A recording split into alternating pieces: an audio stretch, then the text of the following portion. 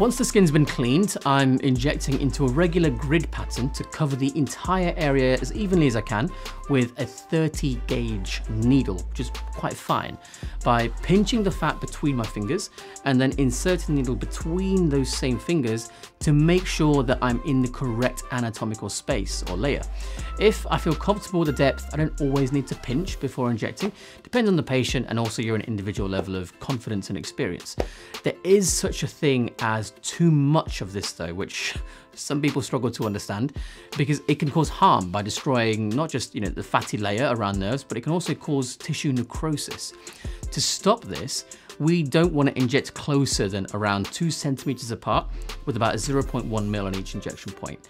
Depending on the size of the area you're treating, this might mean you can use a max of around say two to three mil per session.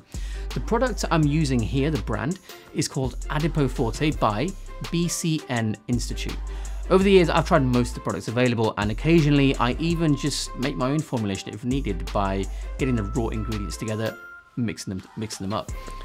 Patients that get a bad result don't necessarily get it because the wrong product was chosen, it's because they don't understand the treatment. For instance, I've had patients come in asking for one particular brand, even though the one I have with me is exactly the same ingredient list and there's literally no difference. They also think that you just inject it into somewhere and the fat disappears. That is not how it works.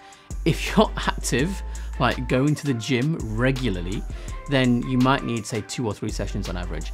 If the most active you get is going for some walks now and again, then first of all, that's probably why there's fat buildup you don't like. And second of all, you might need something like five to 10 sessions because this treatment is designed to break the fat down so that after it's broken down, the body can take it away. But in order to take it away, you've got to be active still, and going for some walks is not that active in this scenario. That's why this is actually for people who are fit and healthy, but just have stubborn pockets of fat that just won't burn off, but everywhere else is toned.